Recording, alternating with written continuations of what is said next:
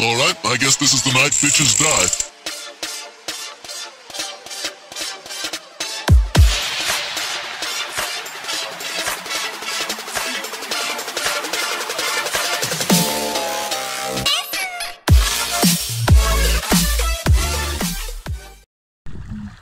Right, so here we are in, in the East Side Susa, in the Swedish country, by the lake.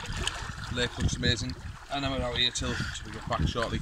Uh, but if you, if you know me, as I say, I'll, I, uh, I'll, I'll try anything. I, I always on about food wise, I try anything. I've tried some crazy things from all over the world anyway. Uh, but I've been living in Sweden for like three years now, and a few people have mentioned to me, hello, random bits of grass, uh, strömming.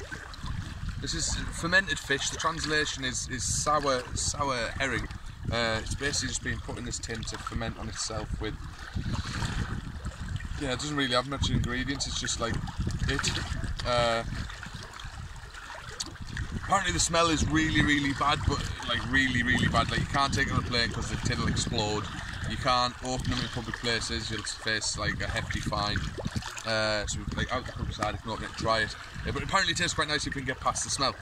Uh, traditionally it's eaten with Mendel batatas, uh, which is almond potatoes. Um, hang on, I haven't had Mendel batatas before, but yeah, that's just potato. Swedes, almond potato. Maybe Swedes don't know what almond tastes like. Yeah, it's still nice though. And uh, red onion. Can't go wrong with red onion. When I googled it, um, it says you should have this on tun bread, which is a Swedish bread with butter. Have it on there, potato and onion on there, and then some strömming on there. But they also said to include um, which is sour cream, and uh, gräslök, which is chive. But upon speaking to Lance Queen's father, who's an 82 year old uh, northern Swedish man, uh, which and this is a, a, tends to be a northern Swedish dish. Uh, he said, no, just do it with the, the onion, potato, and the tun bread. So the plan is to open it, uh, get some on the, on the bread with the stuff, and then eat it. It's just, strömming see how, how this one goes. The smell is apparently really bad. Can't be. I don't think it can be that bad. Like.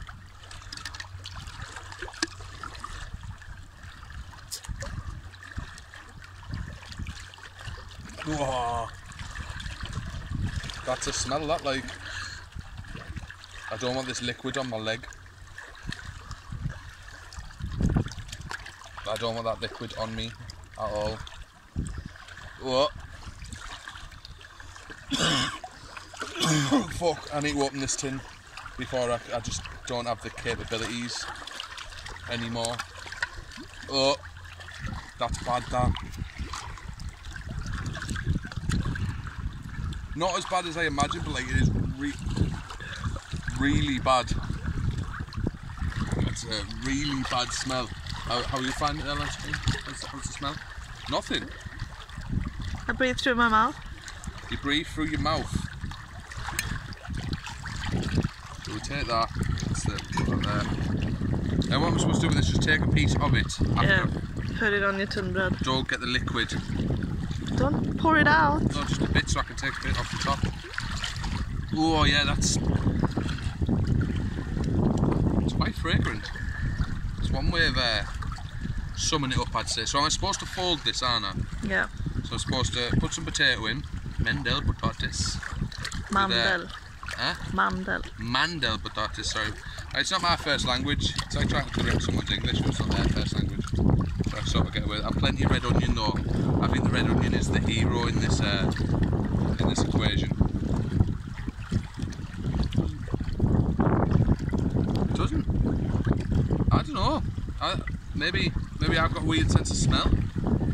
Like it's, it's or maybe it's just the Swedish country air. Just a whole piece of it.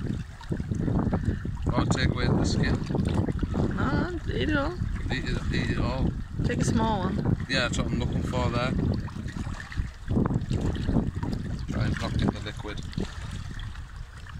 Put that in there. That's it. Just, I, I, don't, I don't think it smells that bad. Like I'm not gonna lie.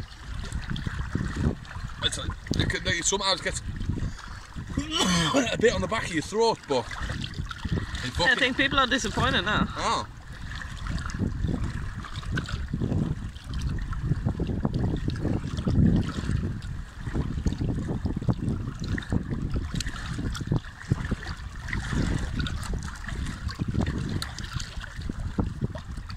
Yeah?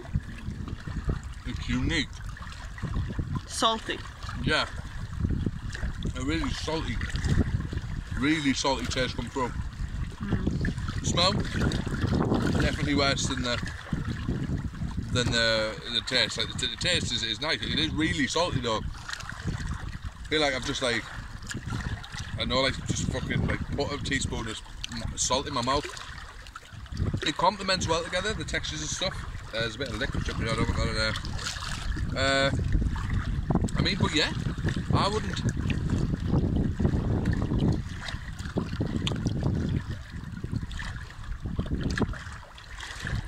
I would knock until you tried it because